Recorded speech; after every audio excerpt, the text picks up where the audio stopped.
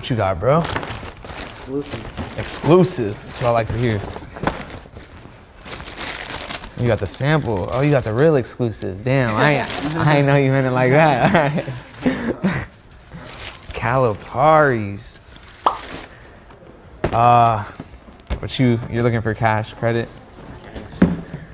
Let me just see what they're smacking for. If I can't, if you can't tell me how, no worries. But how'd you get them? Are you family friend? Let's leave it at that. So uh, it's a crazy shoe. Obviously, I know like it's not really a market. Um, I'd say we would pass on them. I'd say try Flight Club. Uh, just for us, it's it's like a risky shoe for us to buy, just because like it's a harder shoe to sell. So we would pass. But I really appreciate you bringing it in, bro. Dope, bro.